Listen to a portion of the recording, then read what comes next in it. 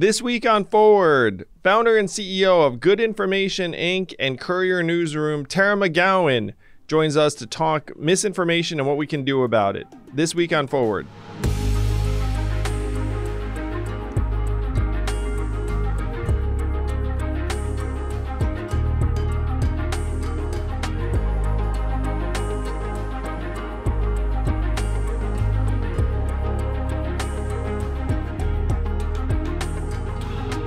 It's my pleasure to welcome to Forward civic entrepreneur, the founder and CEO of Good Information and the Courier Newsroom, which we're going to talk about uh, at length. Tara McGowan, welcome, Tara. Thanks so much for having me, Andrew. It's great to be here. Oh, Tara, you're working on a problem. So we'll we'll retrace your steps so people have a sense of your background, which is fascinating. But you're working on a problem that's near and dear to my heart, uh, which is the fact that local news is dying. Um, you have over 2,000 local papers that have gone out of business. You probably know the numbers better than I do, um, and they've probably gotten worse since I looked at it.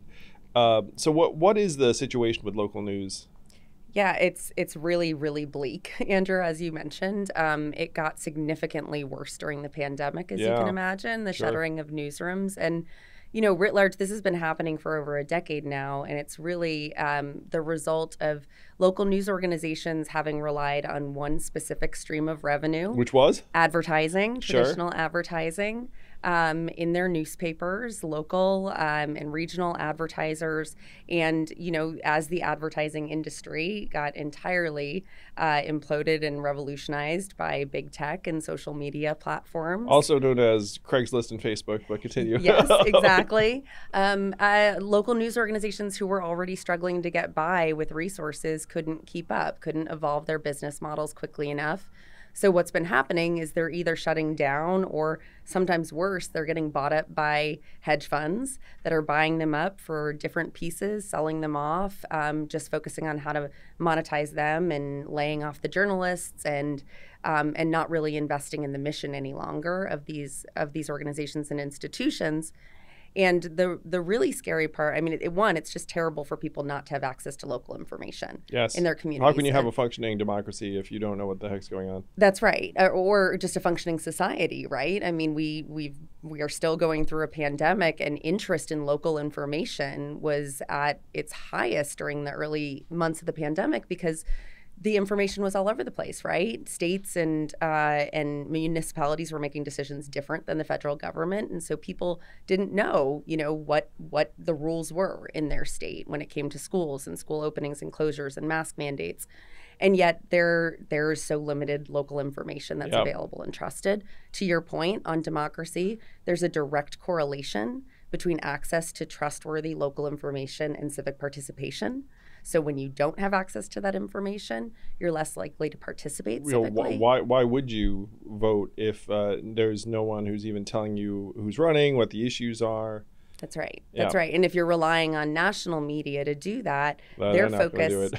no, they're focused yeah. on a totally different audience that has a you know a different agenda. They're focused on high information, yeah. elite, coastal information news consumers, and so they're talking about horse races and they're talking about really you and, know and obscure... they tend to be much more uh, polarizing and political. That's right.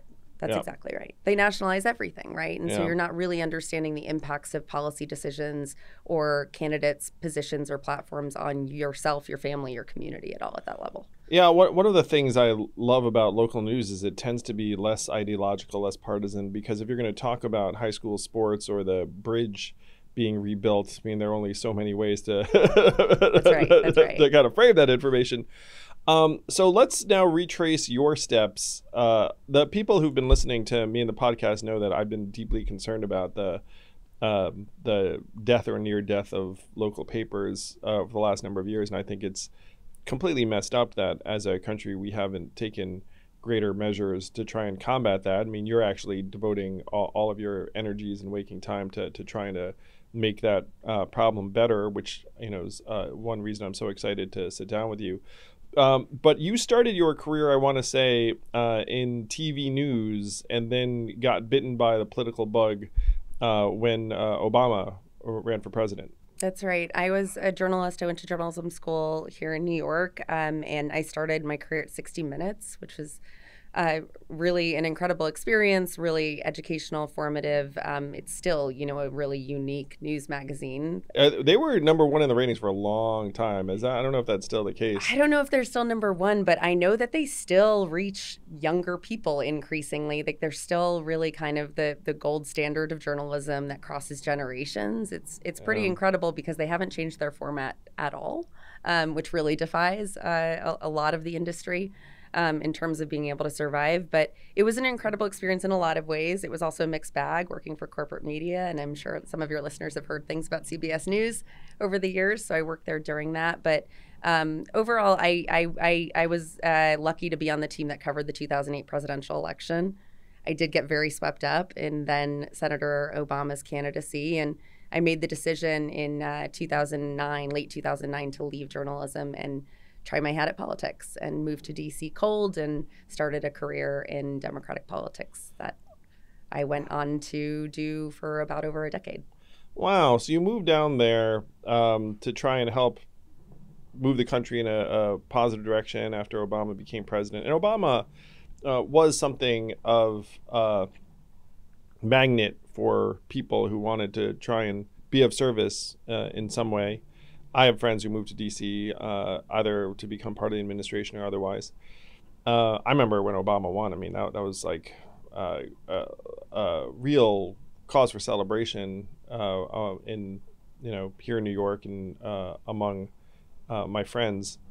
So uh, you worked in Democratic politics, and uh, you became kind of a heavyweight in reaching large numbers of people through digital campaigns. Uh, you worked on the Hillary campaign, I want to say, in, in some capacity. No, Not the campaign. Um, I worked on the IE side, so the independent expenditure side. I worked for Priorities USA in 2016, the largest super PAC on the left. Um, my husband worked on the campaign, so we actually were firewalled from each other, which was how did that go? we got married during that campaign and so our lawyers actually did get on a call about whether we needed ndas at our very small wedding because there were people from both sides but uh, it worked out because we never spoke so we were living in different places both preoccupied with the election so um, but yeah i was on the super pac side i ran a $42 million digital advertising program against Trump. Um, obviously, it was it was not enough. No one thing is anyhow, but I learned a lot in the process, and uh, it was my first role really having a seat at the table of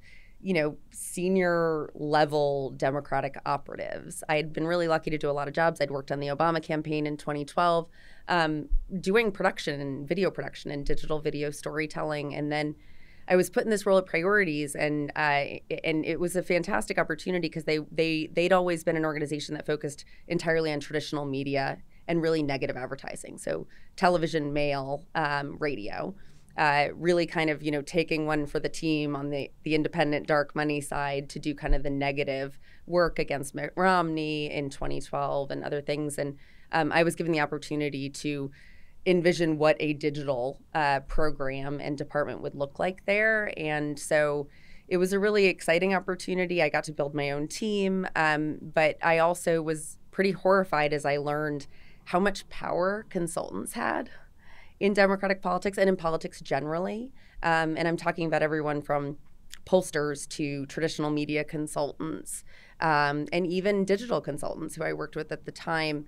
There, there just was there was a level of hubris just in sort of that community and not feeling a need or any incentive to innovate or experiment with new strategies or tactics. And I really felt in that role before the election that we were falling behind and not really staying up to speed on how the platforms like Facebook and Instagram were evolving so so quickly and and how Trump in particular was was really taking advantage of these tools in a way that that our consultants weren't encouraging us to do the same. Wow. So you you had a front row seat to the the fact that hey maybe the democratic machinery wasn't uh, keeping pace Yeah, and it was it was really disheartening because I came out of the Obama campaign and culture that was incredibly empowering to younger people on the campaign and to digital strategy. And so I think that it really was a, a little bit of just resting on the laurels of that. We don't need to innovate. We are the ones who are good at digital. And yet the the technology was changing so quickly and gaining so Four much years is an eternity in this space. Yeah, completely. One year can be an eternity if you don't keep up to speed on the changing algorithms and policies and ad tech stacks. Like you, you really don't know what you're doing. And so I got told all the time to just trust the consultants. And if I hear anyone just tell me to trust them, my like spidey senses go up. And so I started to to peel away more of the work in house from the consultants, and that kind of turned into the model I ended up starting an organization around in 2017 called Acronym which was a 501c4 committed to increasing investment, experimentation, innovation in digital outreach to increase civic participation ultimately and to support progressive causes and candidates. So let's unpack this consultant line of thought um, because I, I've met and worked with a lot of consultants. Uh, and one of the tough things about the consultants uh, is that they kind of coalesce around a particular campaign uh, and then they move on to the next one. And so, would they prefer to win? Sure. we think, right? We You know, think. Yeah. Like, uh, i- is is it an existential threat for them? No, uh, because if they're consulting at a really high level, it, it might be their seventh or seventeenth campaign. Uh, you know, and and so is there going to be an eighteenth campaign for them? Yes. Um, and so what it reminds me of for people who are into sports, it's like an NFL head coach who's much better off losing by seven points professionally That's right. than, than trying to do something uh, out of the box and then maybe losing by 20 That's right. but There's- maybe giving yourself a chance to win That's right. There's a there's a lot of failing up. There's very little accountability uh, because you know the the same way you can't take credit, even though many folks do, for winning an entire election based on one strategy or tactic. You also can't take the fall necessarily uh, for for a campaign losing based on a strategy or tactic. And that was that was really enlightening to me because I I really was uh, very idealistic. I was like, aren't we all in this together? Don't we win all want to the win? Don't we? yeah. Right? Don't we want to throw anything and everything at the wall? Um, and and also at the time in 2016, there you know there was, and this wasn't unique to my team or organization at all.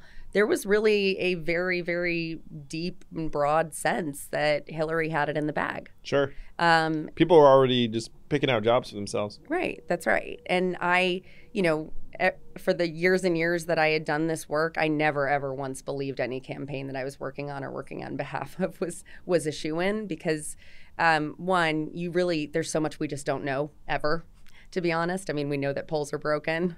We so the information that you have is is really fraught to begin with, and and also uh, it's just not a way to motivate yourself to try and think uh, you know, around quarters and what the other side is doing because they're tireless and ruthless. And so it was just, it was a really eye opening experience for me. I became somebody invited into rooms of donors and leaders in the party whose hair was on fire about how this could have happened after 2016 and i didn't have you know the answers but i i was able to shed some light on on what we weren't doing when it came to leveraging tools like Facebook and thinking outside the box on reaching voters and um, and also just Democrats, you know, this is this is not a, a hot take. They've always had a messaging problem a little bit, and there's a lot of reasons for that. But I was just really frustrated at how out of touch Yeah. folks felt with people. Sure.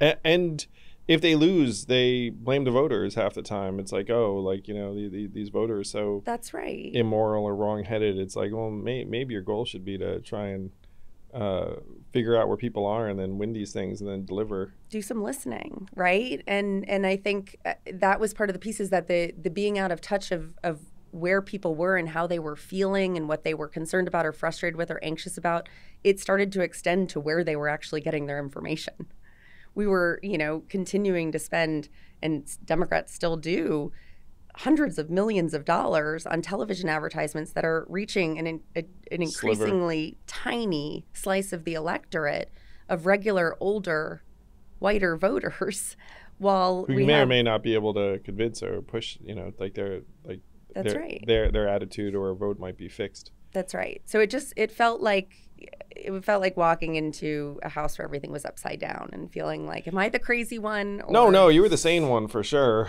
uh, and you decided to do something about it, which is awesome.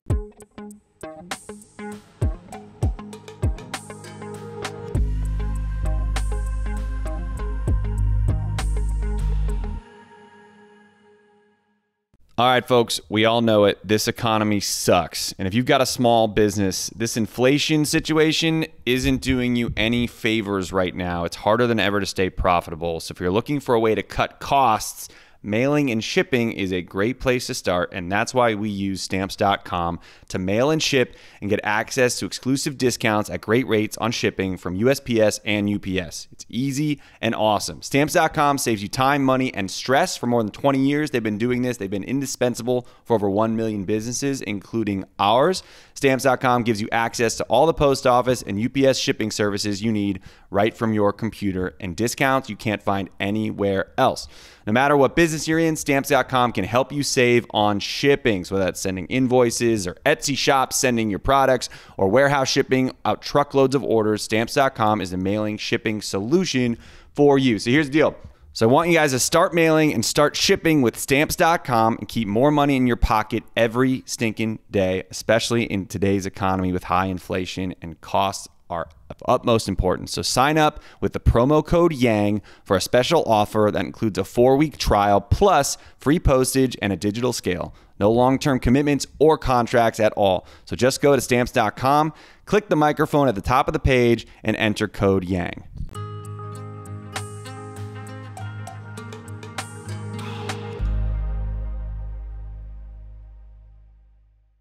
I, I do want to dig into this a little bit more just because it's something uh, a lot of Americans feel. So so the the Democratic Party um, does have a messaging problem.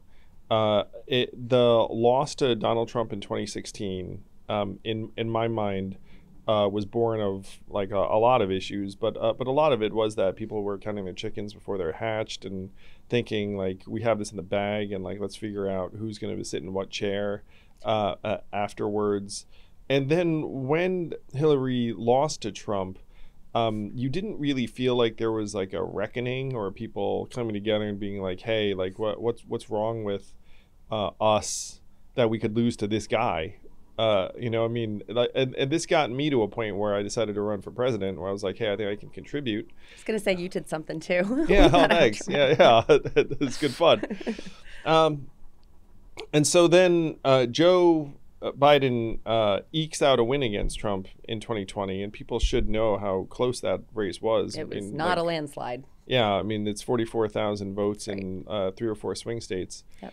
um, uh, and th- there is the this sense still that uh, Democrats haven't necessarily learned or uh, evolved. I mean, that there is also this fractious nature of the party uh, in terms of trying to legislate, where anyone who has been paying attention this past number of months has gotten this like, oh no, like that, you know, this team doesn't seem to have it like fully together, and they're not really, really, really delivering. Um, we, we all feel like they're going to get wrecked in November, which uh, will probably happen. Uh, and, and then if Trump runs again, uh, like, do you trust the Democrats to defeat them, uh, to defeat Trump in, in 24? It's like, I don't. I mean, looking at it, it's like, is, is there like an excellent chance that uh, Democrats lose not once but twice uh, to, to Trump? Um, in, in part because I feel like the lessons learned um, haven't really been taken to heart.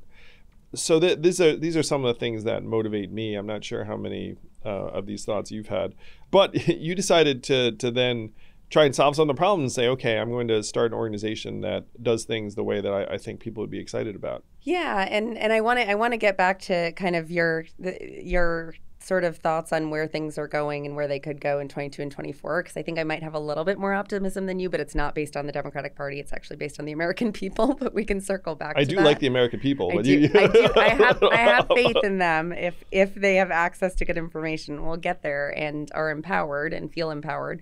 Um, but but yeah, it, I mean, you're not wrong that a lot of lessons hadn't been heeded. I do think I do think that there were constellations of really exciting innovation and startup organizations that didn't exist before 2016. There was a flurry of them that came out of the woodwork that were not sanctioned by the party or the party leaders who really run the infrastructure, right? And I think that's where the lessons haven't necessarily been internalized, is in those organizations and those institutions on the party side. Yep. Um, but the really exciting part after 2016 were that organizations like Indivisible and Swing Left and Acronym that I started, they they popped up and they didn't have to be sort of blessed. We just kind of Just were it. disruptors Yeah. and we did it. And the other thing that happened was that a lot of people that had never funded political work, especially Democratic political work, started to be like terrified when Trump was elected and wanting to get involved. A lot of folks from Silicon Valley, which was controversial and written about and things of that nature. But I mean, I certainly benefited from some of that new energy and resources. Acronym did because those folks came in, they one, understood technology and how information flowed online. And they also were more inclined to take risks. I'm, think- I'm I'm friendly with some of these people. Yeah. Uh, and uh, I love the fact that they stepped up and did something uh, about it, and the fact that they funded you. Uh, so so the, the individuals I'm thinking of are Reid Hoffman and Laurene Powell Jobs, right. both of whom I like and admire. Yeah, they're they're both wonderful, and uh, Reid has been a very strong supporter and backer, and is still my lead investor at Good Information Inc. to this day. And um, you know, he's he he invested in this work for absolutely the right mission driven reasons, but also was unafraid to take risks, and also encouraged failure because failure is how we learn. And there's this risk aversion in politics and democratic politics. I can't speak to Republican. I've never worked in the Republican Party, nor do I ever see that happening. Um, but there's Well, I mean, the Republican Party is losing its shit. Uh, right what is Really, the I mean, republican all- party yeah. today right it's and and so i i really appreciated that because the risk aversion and the over reliance on on polling and micro targeting it's like you just miss the forest through like for the trees right you're not actually you know listening to instincts or trying new ways of approaching this and we live in a really disruptive age across the board you you can't compete if you don't experiment if you don't throw things at the wall if you don't get scrappy and if you don't take risks and if you don't make mistakes So for, frankly. for people who don't know Reid Hoffman's background, he was uh, the founder of LinkedIn. Uh, he was also one of the founding members of PayPal. Um, and so they they've tried With a lot Peter of. Yeah, they, but they've tried a lot of things that haven't worked. Let's put it that way, you know. And, and so so Reid and a lot of things it. that have that have made him a very very very wealthy man Yeah, yeah. So, but you know, and, and then when they find something that does work, they lean into it. Um, so, uh, you know, I so I, I completely applaud uh, the fact that Reid is trying to solve what is one of the most pressing problems of today that you're trying to solve, which is misinformation, the uh, demise of local media. So, what the heck can be done to solve this problem? What was your pitch to Reid, and then what did? Um, so I we I mean we we took a very um, we took a very Silicon Valley esque approach at acronym of pilot pilot different things and ideas, scale what works and fail quickly what doesn't. And something that I was personally obsessed with for a long time from my my early journalism career and even just um, being much younger and and sort of watching how you know, we didn't call it disinformation then, but how the the Bush administration spread a lot of propaganda to start a war after 9/11, I was really obsessed with the role of right-wing media in society, in our politics, in our media ecosystem generally. And you know, they've been around for a really long time. They they built talk radio and Fox News in contrast to what they saw as a liberal mainstream media. Don't think they were necessarily wrong about sort of the liberal kind of leanings of the mainstream media at that point in time. You know, and we're talking about the '90s, and and yet that pushed mainstream media into a very defensive position, right? Lifting at both sides, being like, we're not liberal, uh, which started to, you know, pave the way to being able to uphold lies, um, blatant lies from from Republican candidates and elected officials, and of course our former president Trump, um, as equivalent to facts from the other side to try to show all sides, and that really did a disservice because it sowed even more mistrust. I think um, among people around who to trust and and and so in 2017 when I started Acronym, I had I had written a research paper with a, a few friends and colleagues, um, including Eli Pariser, who started. Well, I just want to stop for. Yeah. because like you, you completed that thought in a way that um, that I didn't expect, which was I thought you were going to say that the rise of the conservative media and the Fox universe or whatever pushed uh, uh, other organizations like uh, to, to the left, but what you said is that no, it put pressure on them to uh, to accept statements on both sides as, uh, as Absolutely. being equivalent. So let, let me just go through some of the different media orgs. So you were at CBS, um, Mm-hmm. and so I, I think what you're describing is like it would push like the CBSs of the world or like the ABCs to to try and uh, like take take more balanced tone. And then uh, like I I would argue that it probably pushed like you know the CNNs of the world like probably to be more of an oppositional uh, force to to Fox. Is that Um, I, I think that's right. I mean, definitely we saw after Trump was elected, CNN move far to the left because that's what would drive engagement and views and clicks, right? It's always comes down to business um, strategy, I think. But yeah, we saw this defensive posture. We still see it today. It's still a real challenge in legacy news organizations like the Washington Post and the New York Times.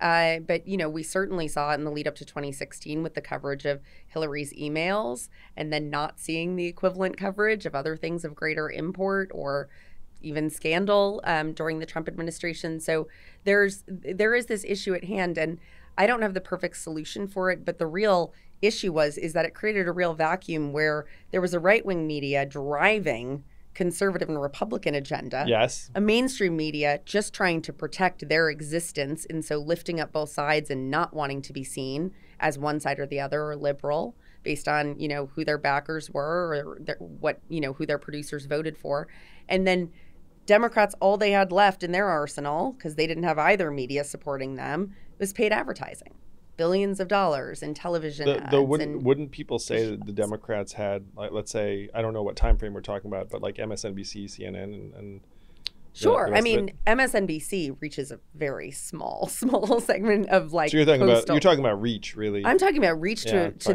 to the masses, to Americans. yeah, and, that that is, that could be a different. yeah, and over decades, Yeah. right wing media built, and you know, and it's not just Fox, right? It was Breitbart, and now it, it it's it's Daily Caller, Daily Wire, Ben Shapiro, Dan, bon, Dan Bongino, like and and the the other big thing that I think about is conservative talk radio. I mean, right. like that that is a massive audience, and Incredibly and, and, and influential. there's a local version of that everywhere. That's right. And so as they grew this infrastructure on the right, they started to really drive the meta narrative in this country and put Democrats at more of a defensive posture without real you know tools or weaponry to be able to push back in an effective way or drive their own narratives. And this has gotten even more complicated and more dangerous because Democrats really do. I mean, there's always exceptions to the rule, but they are incredibly concerned about always being factual and and accurate and moral in a way where we see the right they will say anything if it drive click, click drives clicks and attention. They intentionally sow mishate, mistrust and hate and division and fear in order to be able to drive their agenda. And then the media is just trying to play both sides and try to make sense of it to folks. And and and the right wing media's influence has really driven the narrative unless they lose their footing which uh, we've seen happen a few times we saw it in the pandemic with Trump's botched response quickly Republicans did not know how to pivot I think we're seeing it with Russia right now because they're caught flat-footed because so many of them were on the record and supporting a president who was you know, touting Putin as a genius. And so, outside of those types of circumstances, which are really powerful, they were able to push their wedge issues into the mainstream.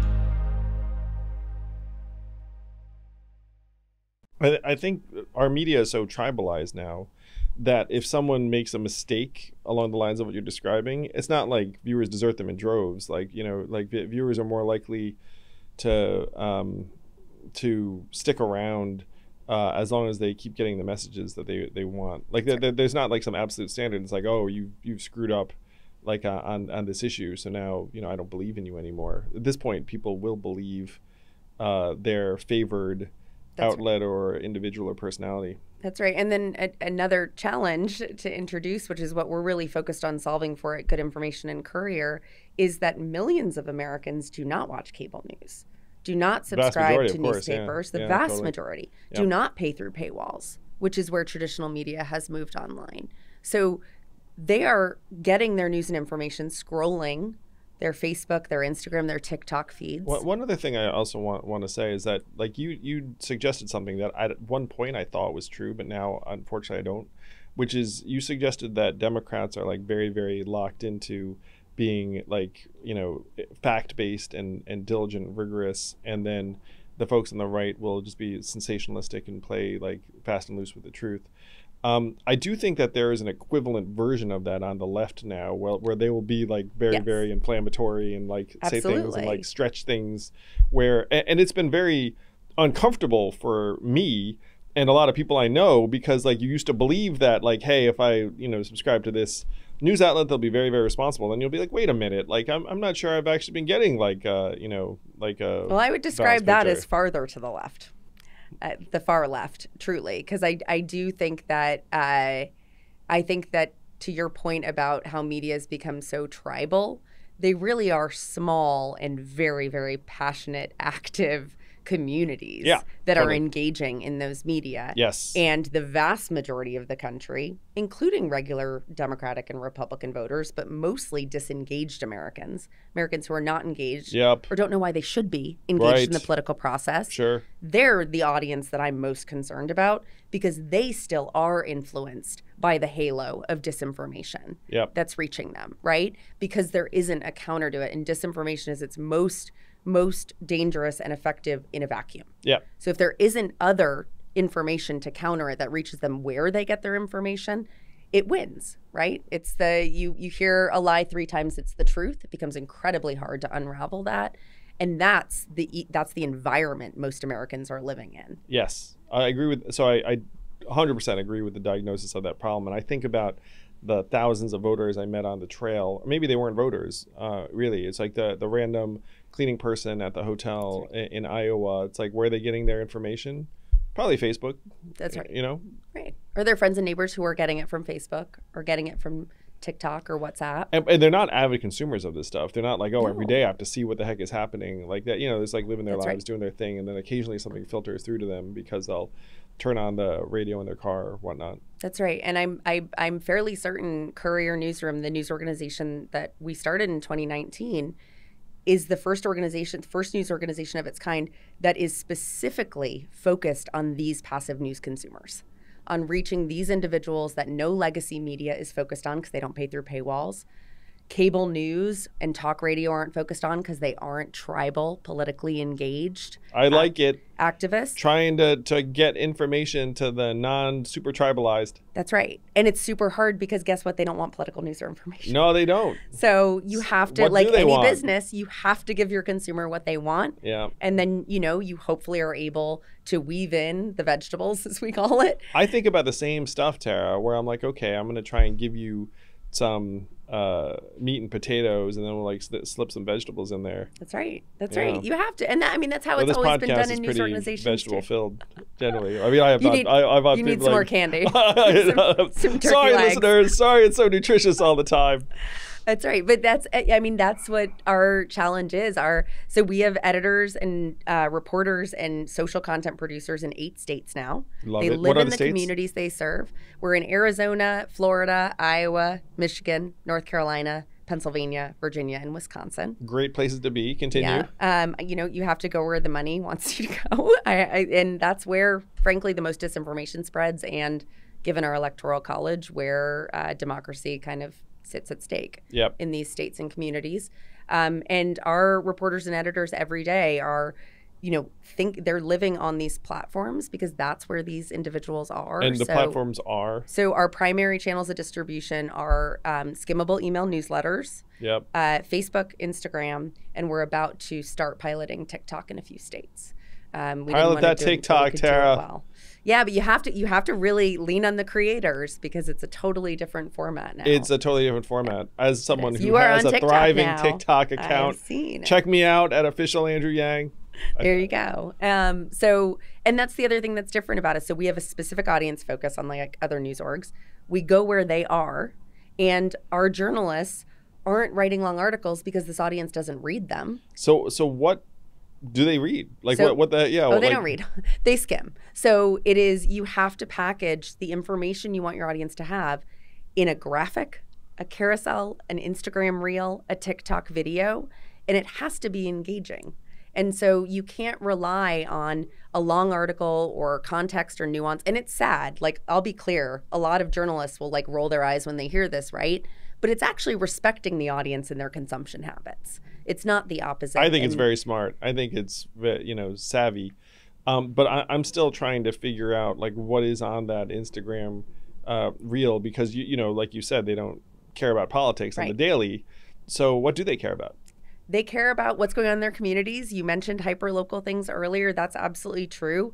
Um, they also care about information that affects them. So if you center them in all of your content and your reporting, it's you know does the So is that weather? Is that entertainment? Like what is that? weather weather is huge sports is huge sports is also really unifying it's the other reason that i decided to make courier a local news network which is harder in general but it's because where you live in your community is something that that that binds you together you can build bridges with people who you don't agree with politically Yep. or in other ways and it is like sports right you can be on the same sports team but really disagree about everything else So if I live in a up. town in Wisconsin, uh, is there like a version of Courier News for for me? So And, up like, north news. So every one of the newsrooms has their own name, their own channels, their own reporters and voices and personalities. So Wow. So it's a little like micro paper delivered via social media and skimmable emails. that's right. It's it's really it's it's distribution focused because we understand that you people don't come to you anymore in this media environment. You have to go to them. How many journalists do you all employ? So our whole staff is about 65 full time now across the eight states and a small HQ team. We centralize all of the data analytics reporting. We do our, do our own media buying in house. And the third part of our model that is different from any news organization I've ever heard of is that we measure the impact of it. And that's really important How the heck do because you do that? so our mission is to make a more informed, engaged, and representative America. Um, that's the mission of a lot of news organizations. I think they'd call it different things, but our model is is focused entirely on the audience that isn't politically engaged, that is lower information passive news consumers, meeting them where they are with information that is actually relevant to them, and then understanding it if actually increases their turnout in elections, and not for who they vote for, but do they turn out.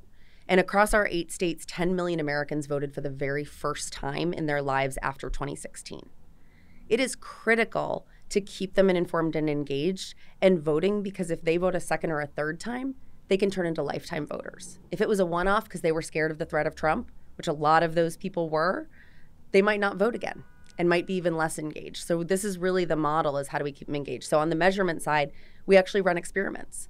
We boost our news coverage to these audiences. We hold a control group out like a like a medical randomized control treatment experiment, uh, and then we look at the difference in turnout between those different audience segments after an election. Wow. Uh, one of the things that really struck me um, in 2020. So uh, I thought that people must be really tired of Trump. I mean, he was botching COVID, and I endorsed several dozen candidates in swing districts around the country, thinking like, "Oh, this is going to be a really great opportunity." Love so many of these candidates. Uh, and what stunned me was that turnout for those candidates did go up. Many of them were second time candidates. But then turnout surged on the other side as well. Uh, and the vast majority of the candidates that I was backing uh, ended up getting swamped by increased turnout for Trump in these locations. So when you talk about the 10 million voters who voted for the first time in these eight states, uh, it's probably on both sides. Um, and so, uh, is is it such that Courier News is uh, informing like a critical mass uh, of voters um, on both sides, or like, like, or yeah, it sounds like it would be. Yeah, I mean, we're really explicit about our values. A lot of people will call Courier progressive because of those values. I think a lot of our values shouldn't be partisan. Yeah, what are those values We believe in science and climate change. Sure. We believe in reproductive rights and freedom. We believe in social and racial justice. And we believe in democracy. And we also believe that there needs to be a strong democracy for there to be a free and independent press in this country, among other things, all the nice things that we'd like to have and keep. And so we are explicitly pro democracy. And that guides the editorial strategy of the organization. I think being pro democracy should definitely not be uh, partisan or controversial. It I mean, shouldn't, like- but like- hasn't it is. become that way? Oh yeah, yeah. It really has. And so, and what we really mean by pro democracy coverage too is accountability for individuals, elected officials, leaders in our states that are actually trying to dismantle or make it harder to vote for Americans. And that's a that's a huge threat to this country. And we know what it can do in seeing what's happening in Eastern Europe right now.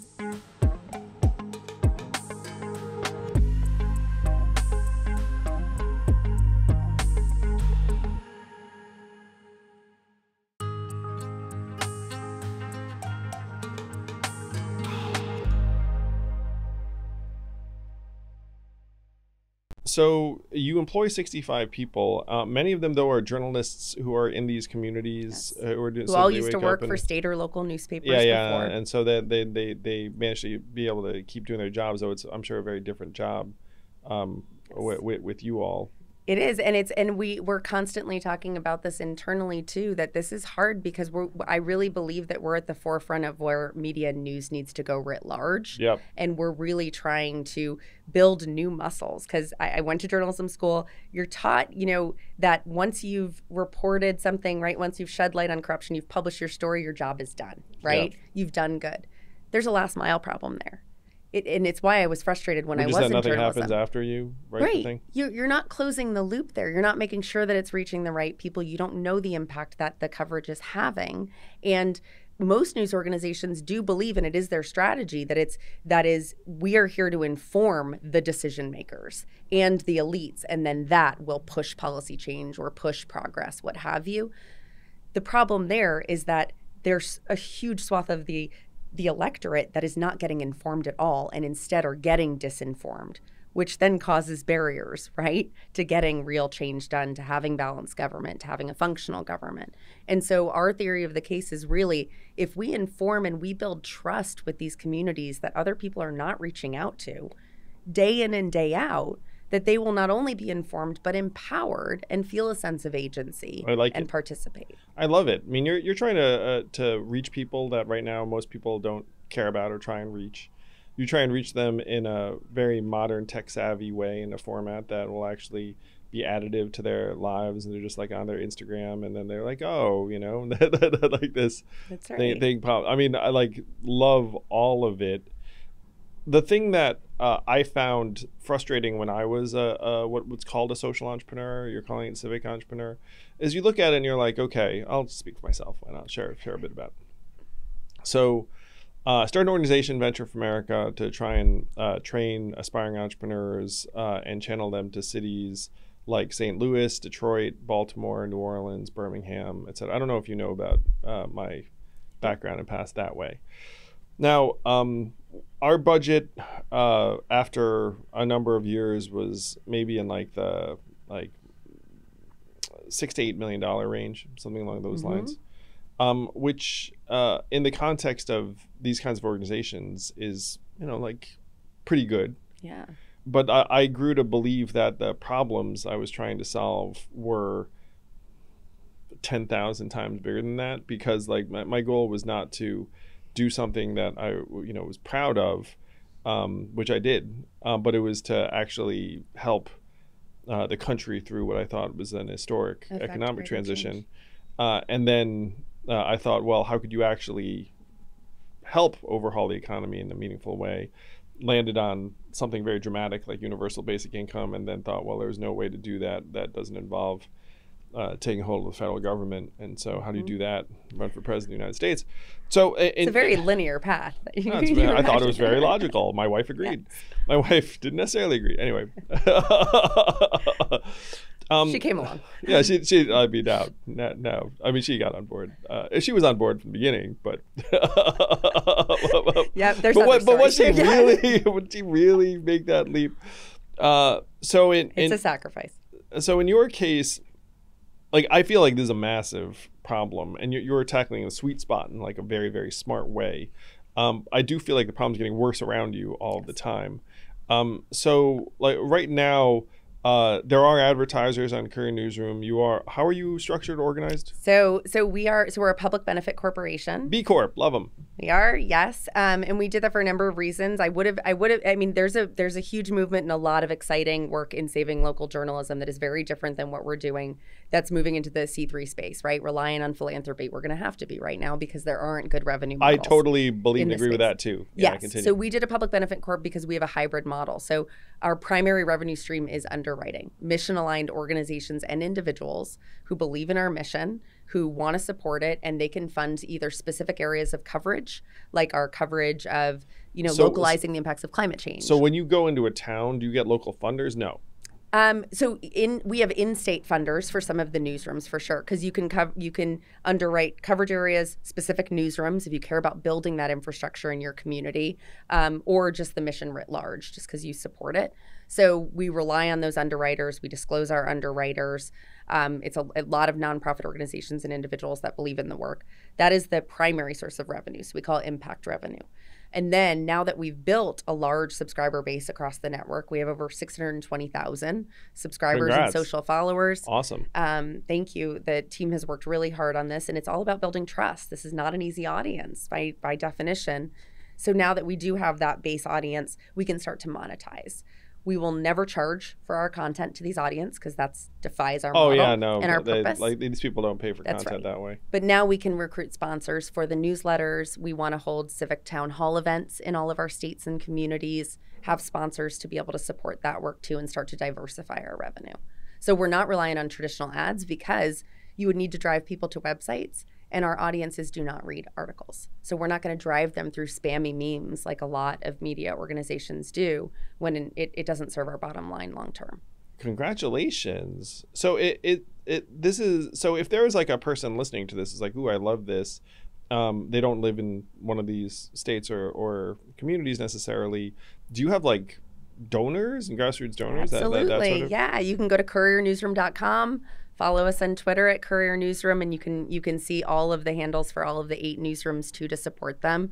So anybody can support the work on the website or any of the state new, uh, websites. And then um, we're also I'm really really excited about this. We're launching a content organizing program this year.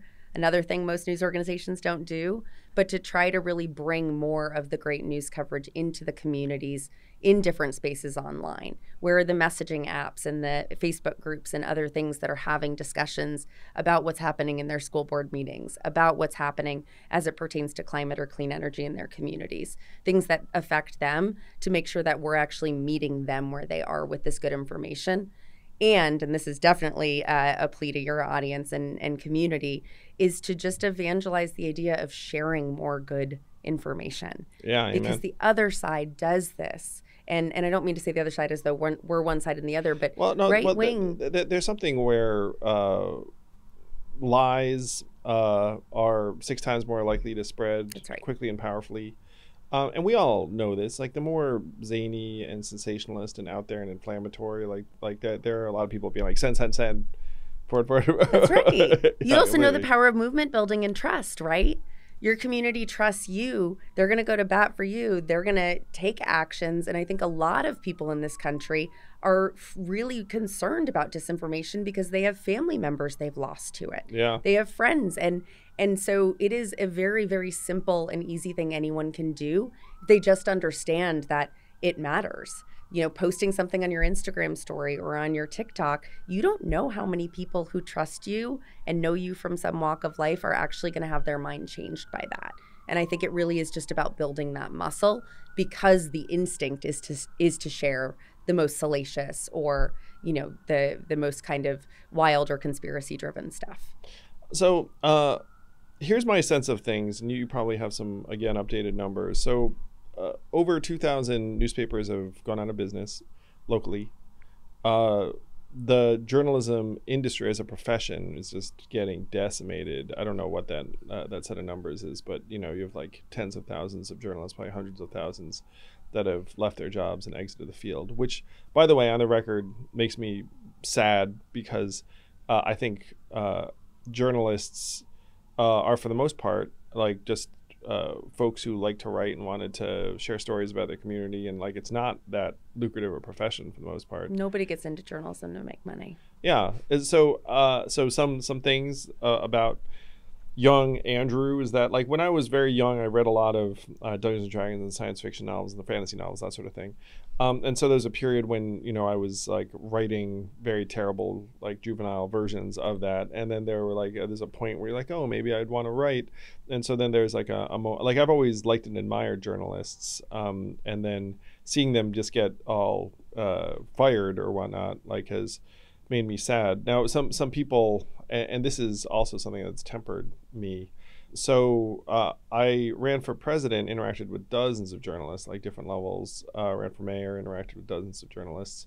Um, and, and, I've had journalists do really shitty things. Uh, can, so have I. I can imagine. Yeah, and so that there is like part of you now where it's like, like my my uh, natural sympathy for journalists, like o- over time, has been like you know because I know there are some people who like frankly like mistrust journalists.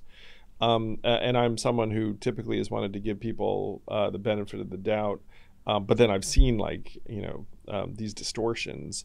Um, uh, and if I'm going to be favorable about or generous about it, it would be like, look, you have a field where people are now under these enormous pressures, uh, economic and professional and otherwise, and that is going to end up driving worse behavior uh, over time. I was going to say it comes down to incentives, right? And I do. I do think. I mean, my, I'll just speak from my personal experience. Uh, I have a lot less, uh, a lot fewer bones to pick with uh, local and state journalists I've ever met than yeah, yeah, national political journalists. They have uh, a very different agenda, but it does. It comes down to incentives. They're incentivized to drive clicks and shares and engagement on their content. And, and, it is worse for these national types because they're trying to get to like these broad internet audiences, whereas right. like the local paper, it's like they, they're not used to trying to get that's right. A bajillion clicks on their stuff. Uh, another story uh, that I'll, I'll relate, which is uh, in my last book, which uh, was campaigning around Iowa and New Hampshire and interacting with dozens of local journalists. Uh, but those stuff, like the newsrooms, were disappearing. I'd show up, right and it would be like a half empty building or two thirds empty building, and the people that were there, like someone said to me, it's like this is going to be the last season when you actually even have like local journalists who like follow a candidate around to tell their stories in New Hampshire, or Iowa, or, or whatnot, and that made me feel really bad too. I also have in the story that uh, the major Iowa paper that all the presidential candidates wanted to spend time with was the Des Moines Register, which, as you know, was purchased by a hedge fund mm-hmm. um, during the midst of that campaign. So imagine like I was hanging out with this Des Moines Register reporter, and then she confided in me that all of her colleagues are worried about their jobs because they just got bought by, um, you know, I forget which hedge fund it was. It's in my book. Um, and, and and so you you you really think about just how completely screwed up this landscape is.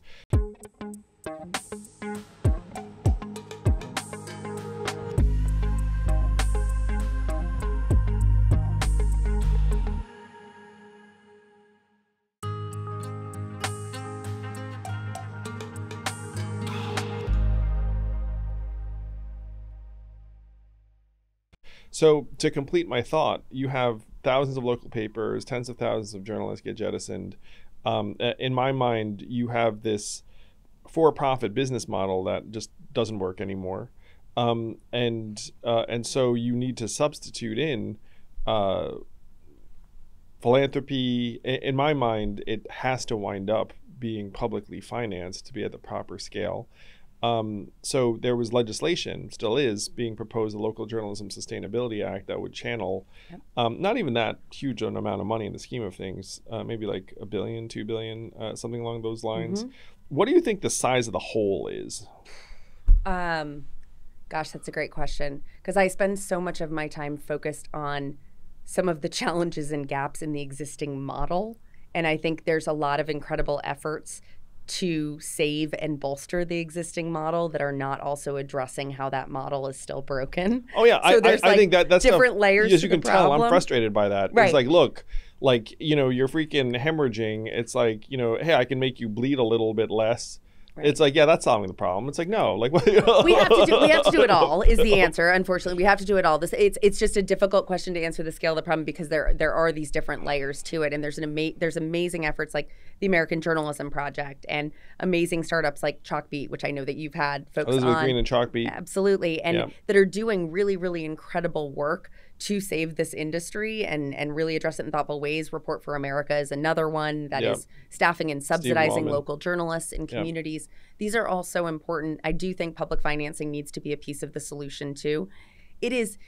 It, the the challenge before us though is not just saving local journalism it's shifting how we do journalism in this country and how we think about distribution given distribution has changed and it's not it's not a real new or novel challenge. It's happened every time new media has been introduced right? From like the printing press through television talk radio what have you the internet social media. It's going to continue to adapt and change and media is now so increasingly decentralized that we need to have also more investment in innovative models that focus on communities that aren't the highest income ROI. Yeah, consumers. sure. That's right. And we don't because all of the startups that I'm hearing about that get big money like the you know the new Ben Smith one. I'm not going to remember the name, which is going to be a problem for them. There's a word there, Semafor maybe. But like there are these new uh, startups, and and they're they're not bad necessarily, but they're all focused on elite audiences, Yeah. on high information consumers.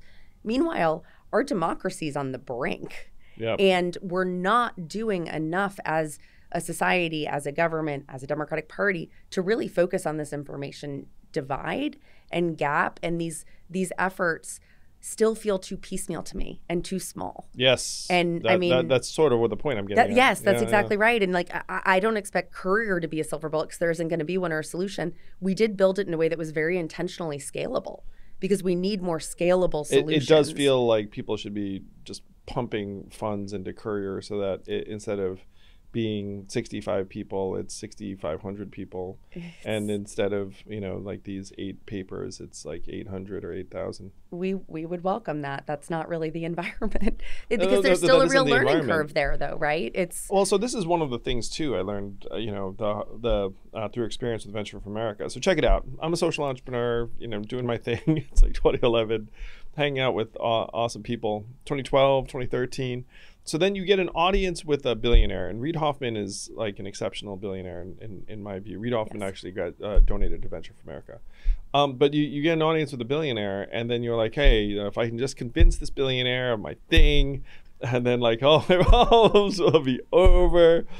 And then, um, and then that this billionaire, uh, it turns out that if you're a billionaire, you don't necessarily operate in increments of like, you know, uh, five million or ten million. Like you might operate in increments of like one or two hundred thousand. So then, like you you get like one or two hundred thousand from said billionaire, and then you're like, okay, like I'm like glad for that, but you know, like like is that going to be able to solve like you know this problem? And I, I'm just going to throw a couple numbers at what I like.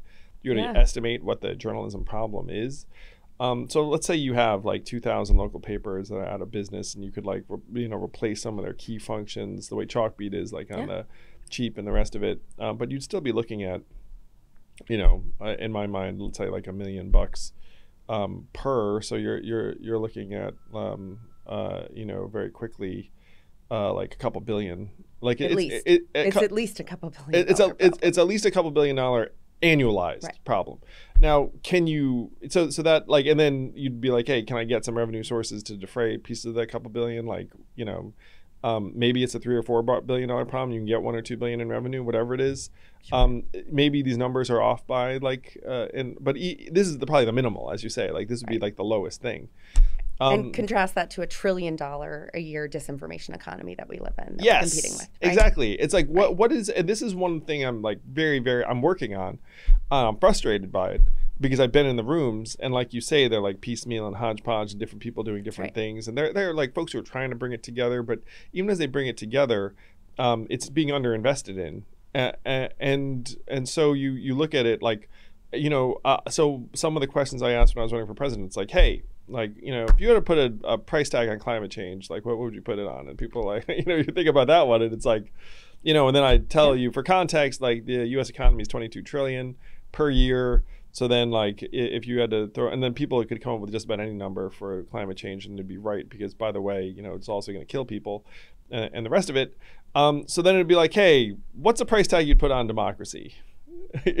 I'm asking this question every day now. Is this what because- you're doing? Yeah. because nothing else matters if we don't if we don't protect democracy in this country like everyone's business interests are tied to this every philanthropist interests are tied to this it, it's if you don't have a functioning democracy, are you going to be able to address climate change or any of the other No. stuff that you're plowing like hundreds of millions of dollars into? absolutely not and Yes. that's that's also that's the disinformation ecosystem right it's so much bigger than politics it, it's democracy it's public health as we know from Yes. vaccine disinformation it's public safety it's climate it affects all of this like if you're not addressing the information ecosystem problem and incentive structure in this country you're not addressing any of those problems Yeah. in a meaningful way Yeah, it, it's uh, a very compelling case. Like I make a version of that case, and then you circulate around and you find some people, and then some people are like, you know what, Tara, this is great stuff. Two hundred thousand dollars or whatnot, and, and, and then and then you're you're grateful because you're like, well, you know, da da da. But at the same time, you're like, you know, like this, like, you know, it's slipping away, and we've got like a couple billion dollar hole. And it needs to be subsidized. And I do believe also that there's a massive market opportunity in local news Yeah. that's coming. And so it's the startup needs to grow and scale now when we don't have a lot of time. And there is this urgency around our democracy. And and then I do believe that it will be able to pay for itself because I think the ecosystem will continue to shift and change. Oh, th- there, hundred percent are ways for these local publications to, at a minimum, be break even. The problem right now is that uh, if you have a public company, it's not enough to break even. You have to show, like, let's call it double digit margins, and then that's not enough because you have to show a growth rate Right. uh, uh, of X. Right. And so, if you are a financial operator, you come in, you buy the Des Moines Register, uh, you look up and be like, "What's that? You're breaking even? Well, that's terrible. Like, time to fire, you know, like, like these folks and sell the real estate, and then we'll like, you know, Yeah. um, and this is a, a different rabbit hole we definitely don't have time to go down fully, but we don't have good capital instruments in this country for actual impact where you're you're not actually driving for a financial return you're driving for a social impact return we have different models and you hear about it but at the end of the day it still ends up coming down to that financial return and we're at a point in our society and in our democracy right now where we actually need our elites and our billionaires to subsidize this work at scale for the foreseeable future. And they don't need to cover the entire cost. There will definitely be revenue streams, but I think that there is a culture shift that needs to occur here. And I and I do believe that it's it's coming close to the point where we hit rock bottom and it happens out of fear and urgency, but we're not quite there yet. I've got two things I'm going to pitch to you. Uh, well, so one is called the Impact Genome Project. Have you heard of this thing? I don't think so. All right. So what you were just suggesting just now is like, look, everything is around financial returns. It turns out some of the most important things don't have an immediate like dollar amount attached to them, but if you don't invest in them, we're all fucked. Um, totally agree. Uh, and so one of the big ideas that uh, I was championing was like, look, like we have to actually start measuring outcomes, like human-centered outcomes. Yes. Where instead of saying New like- like, uh, KPIs. Yes, new Yes. KPIs. Um, so I called it the American Scorecard, uh, and you can include healthy democracy on there, and then like what is the return on that? Yeah. The the early effort in this space is social impact bonds, which is like I'm going to invest in an outcome. So if you can like help kids like learn better or whatnot, like that's worth ten thousand bucks a pop to me. So I'm going to give you a billion, and then you can demonstrate you did it for Yep. like a like a thousand kids. Now the social impact bond market is still relatively like nascent and like undercapitalized. To your point, um, so uh, the Impact Genome Project, awesome entrepreneur um, in, in Chicago who is trying to say like, look, don't invest in activities, invest in outcomes or results. Mhm. Um, so just like you know, it could be a private company, it could be a nonprofit uh, that that addresses it. A- and so one of the reasons they do this is because there's this sense that we have that I happen to co-sign on. Is, is that like uh, a lot of our government operations are not very uh, results oriented and it's just like a politician shows up cuts the ribbon is like hey I did this thing started this program. It's like did the program deliver? Who the hell knows? Someone looks at it later and is like oh no like rebrand it do this and like no one knows whether anything happened and American people are like oh I don't know if I believe this stuff uh, at this point. So the impact genome project is trying to say like look everyone should just be trying to measure the outcome and the result. So I just had a vision, which is that you have an economy of the future that has uh, multiple things that you can invest in, Mm-hmm. um, a- and then uh, now I happen to believe that the government should be capitalizing this at like a very high level. Um, I think the government should be publicly subsidizing local journalism to the tune of billions of dollars, and I'd have zero problem with that. Now there are a lot of folks who, you know, dislike that um, because they, they think like, oh, the government can't be a part of. Well, this- what happens this- when Trump is president again? If he is system, and he and- owns the media, And I'm just like, look, and my my. Uh, I mean, there are a lot of uh, arguments that I think are, you know, would work. But one of the things I say is like, look, town library. Do you have a problem with the town library? It's, it's, it's like public. who has the problem with the town library? Publicly, like that. That is what the town paper is the equivalent of. Really, um, you're just conditioned to think that the media is a for-profit business and the library or the post office is not. It's like at this point, like the local paper is the town library or the equivalent. Um, it should be with protections, right, and safeguards around it. yeah. It- or the other thing I could say is like, hey, like uh, uh, NPR, PBS. Like, do you really think someone in Washington's like telling the local NPR station what their editorial choice is? Like, no. You know, you know what I mean? Or you could say like, hey, look, other countries. You know, like there are like all sorts of the, these models. absolutely. So so there there should be a massive public investment in various goals, whether Yeah. it's climate resiliency, Sure. local journalism, right? Put these pillars. Mental in place health that We need to have a healthy populace, a healthy environment, a healthy society. with, with, with the major context being that right now we, we have untold uh, stock market uh, wealth and record highs, and then our quality of life is just degrading and disintegrating, which ends up leading to authoritarianism, especially if you have a two-party system that artificially ends up empowering, like you know, like right. uh, We're on a fast track. I mean, yeah, we, we've, we've set up structures that are facilitating this Yes. dissent. That's right. Uh, and there are people like you who are trying to make things better, but um, you know, like it's the the the struggle you have um, is something I'm familiar with. Is like, hey, like we have to just be doing more faster. More faster, yes. And like take the risk and like Pile and- in, yeah. Yeah, and just and I really do think it comes down to people really understanding the ROI around democracy on this stuff. And that there isn't going to be one solution. As Everybody's looking for one solution. There's not going to be one solution. Well, You need uh, to invest in a lot of different things that are trying to do this work with the real purpose and mission at, at heart of it.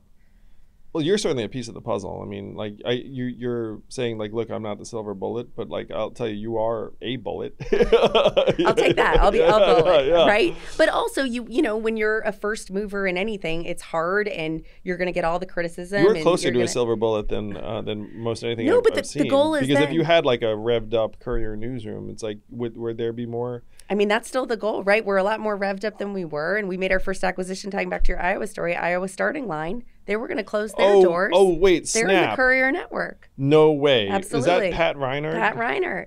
He's the editor. He's been the editor. He was the founder of it. Came into the network, and and where we where we agreed is he's like, look, the model we were doing weren't working.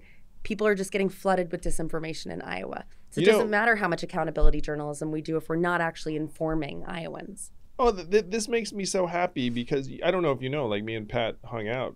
Yeah, Pat's hung out with all the presidential candidates. So you're not no, but special, but no, I hung out with Pat. I mean, I Tara, know. like he I hung out with know. other folks now. Uh, but like I, I see them all over the place, and Yeah. I, I have a real fondness for Pat's uh, fantastic. He inspired me for many years before I started Courier with what he was doing in Iowa.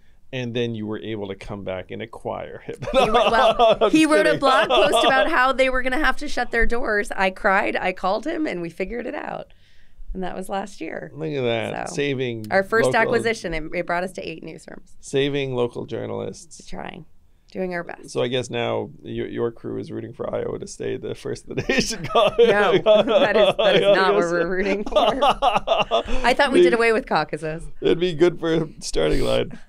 Uh, another thing for democracy. Um, yeah, no, but uh, but it's also really exciting to, I mean, exciting and terrible, but to be in a state where uh, you know it's it's bled really red in Iowa, and I actually believe that our model can make a huge difference in areas that aren't as saturated, like the battleground states, with other media and Well, th- investment. this is another point I made that like really that like does fire me up. So Obama won Iowa. Yes. Uh, uh, this is like a very, very purple state. Hmm Uh, 94% white, rural. Yep. Um, now it's uh, R plus eight or so. Um, there are Democratic members of Congress, Cindy Axne, uh, and Democratic leaders and Mhm. candidates, many of whom I, I like and consider friends. But that environment is just going redder and redder. Um, and the Democrat, you know, the response of the Democratic Party to that, like, who Leave cares? Where, who cares? We're going to go to Arizona or Georgia, That's right. um, because those environments are more diverse. That's right. Uh, and I, I hear this and I think, well, like, why don't you like go to Iowa and explain to them why they don't matter anymore? Uh, and by the way, this is just going to speed up racialized polarization in our country, Mhm. where you're going to look up and say, uh, rural white areas, well, can't win here. You know, like uh, let, us just go to like it, it like I'm fearful that's happening across the board generally, right? Like there's starting to be plans in motion because Roe v. Wade is likely to be overturned in June about there's just going to be states where women can get an abortion in this country and states where you cannot. And and and that's where planning is coming into place about like okay, we're going to have we think we're divided now. When it comes to this, we are we are absolutely it's why I left politics. Frankly, it was a big reason is I felt like I was part of the problem of polarization. Political ads do that. They continue to sow mistrust. People don't want to be they don't feel a part of the system. They feel they're being lied to. They feel they're being taken advantage of. That's those feelings are really real. yeah.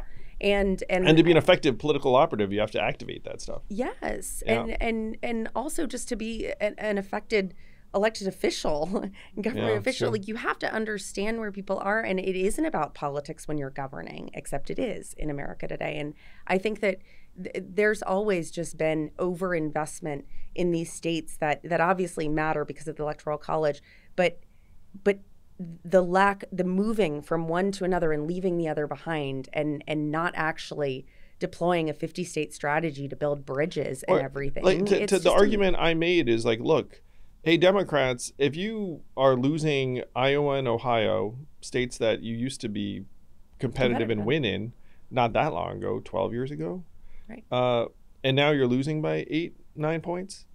Uh, maybe the problem is that things have gotten worse for the people in those states. Uh, and the stuff you've been talking about is not really like you know doing the trick or helping. Right. Um, and so for me, it was like like maybe you should be investing in like that reality. And, and oh, by the way, like you know that that would be great for the country. It'd be great for your party. It'd be great for everyone. Um, but the the Democratic Party is not actually geared to try and improve the lives of Iowans or Ohioans.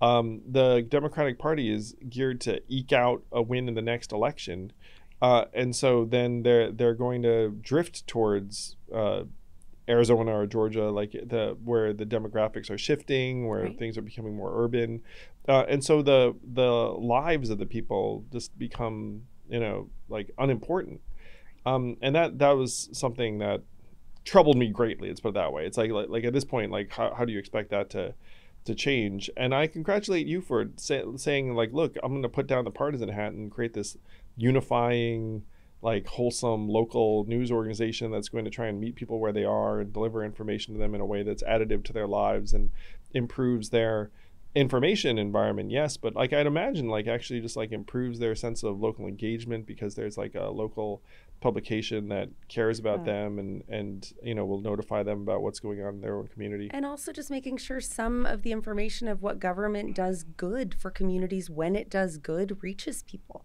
Journalists don't have an incentive to cover that. You're trained not to, you're contrarian. And yet that also builds mistrust. Like yeah the trust crisis in America right now is really, really, really dangerous. Like people don't trust one another, they don't trust institutions. That's what's going to lead to authoritarianism. Yeah, this this dynamic you just described too is like a bit of like a. So if you talk to journalists too about this public financing and the rest of it, um, one of the responses you'll get is like, no, like the journalist's job is to speak truth to power, which is this adversarial That's stance you're talking about. So if like a random government official does something positive and it's like, oh, you know, like it made these people's lives better, it's like, ah, I don't care about that. right. Like, you Where's know- the gotcha? Where's the negative? Yes. That's exactly right. Yeah, and it- it's a huge problem. Yeah.